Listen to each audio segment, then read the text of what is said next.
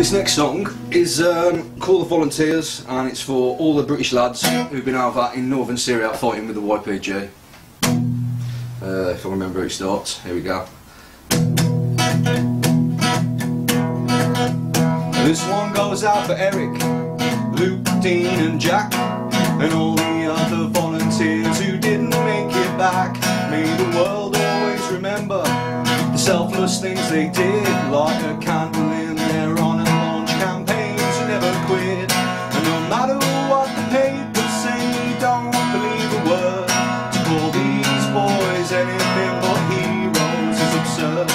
They could have stayed at home and been sat here today But they followed in the footsteps of the international brigade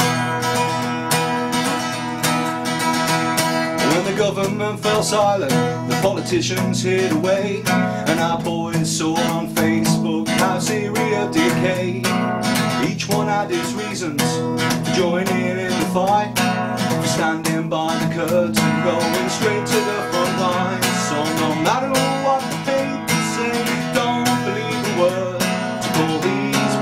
boys anything but heroes is absurd They could have stayed at home and been sat here today But they followed in the footsteps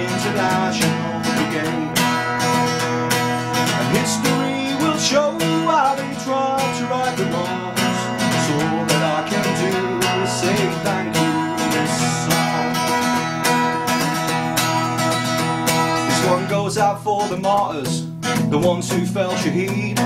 For everyone who knew them and all their families Be strong and be proud of what your loved ones achieved.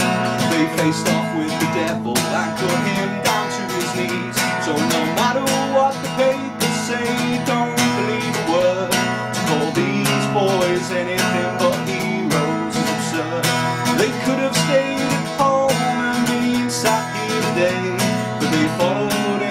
footsteps the international game.